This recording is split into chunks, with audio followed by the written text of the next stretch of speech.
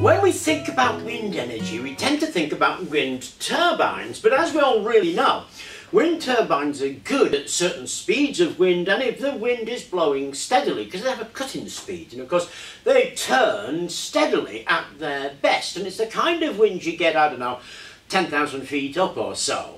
But there's a whole range of wind energy available and it's usually thought of as being wind harvesting.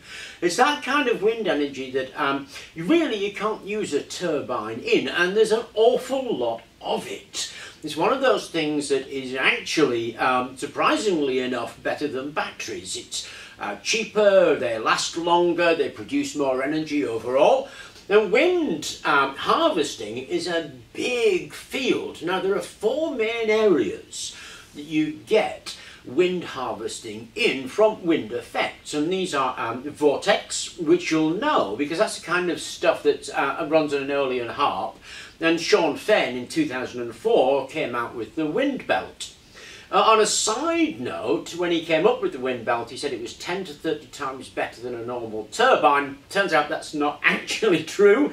It's about the same or a little bit less. Uh, and, and, that makes sense, really. But a wind belt costs somewhere around about $10 to make and is about, I think it's $125 a watt hour or something like that.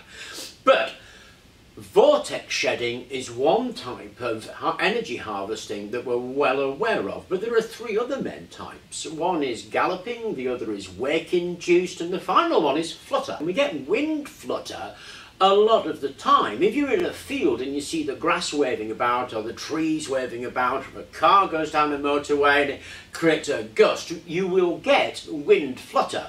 There's an awful lot of wind flutter around and wind flutter lends itself particularly well to these kind of structures where you've got fixed structures with a flexible component and it's in an area where you're going to get a burst of wind and then nothing and a burst of wind and then nothing. So a lot of areas actually get that and a lot of energy, particularly along roads and motorways, is available for harvesting using wind flutter. And here is what I came up with. This is a basic structure that flutters. Now, it's all one print. So you just print it. Here is an integral hinge. You don't have to do anything with it. Once you print it and push that, that hinge actually works and the whole thing cost about 15 pence to make for plastic and electricity. There it is printed and off the bed and as you can see it's free to flutter. Now this will flutter in a fluttering breeze which happens in, uh, like I say, by uh, roadsides but the other good thing about this, this will also flutter if you walk past it. If you put it on a floor or some stairs or a bridge that traffic's going over, it will flutter. And of course, it fluttering means it can be used to harvest energy. There's a number of ways you get energy out of that. One is a piezoelectric device. Another would be electrostatic, where it acts as a variable capacitor. Another would be magnetic induction, where we stick a couple of magnets and a coil on it. So there's quite a few ways to actually get the energy out of this flutter. The main issue with energy harvesting isn't that. The main issue with energy harvesting is creating devices that are super, super simple and yet still do the job. So like I said, this was 15 pence and I'm sure it could be a penny or two if it was mass produced. And that's what's important about it. It has to be super simple super cheap to produce because you need lots of them. I mean, this was inspired by a field of grass and by Catherine's Darwin leaf, but you still need loads of them, and you make loads of them really cheaply, pop these on a bridge, they're all fluttering away doing a few microwatts, but as long as it's a couple of pennies each, and they last for absolutely ages, that doesn't matter. That's the issue with them. So when choosing a natural generation schema with this, what you want is that generation schema is simple and cheap.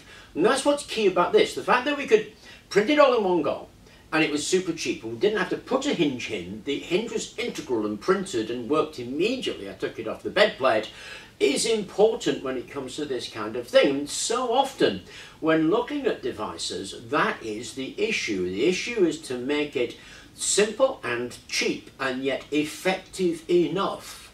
The efficiency when it's super, super, super efficient is expensive, which is why you don't find super, super efficient.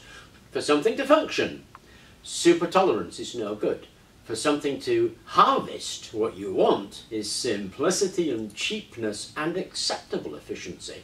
So give it some thought. How would you use this to scavenge energy? What would you use to do it? Me, I'm probably going to use induction, and I'll be doing something else on that where I actually scavenge the energy out of it, but that is a flutter device for harvesting energy from vibration and flutter wind. Anyway, hope you enjoyed the video. Thank you very much for watching and please do remember to like, subscribe and click the bell notifications.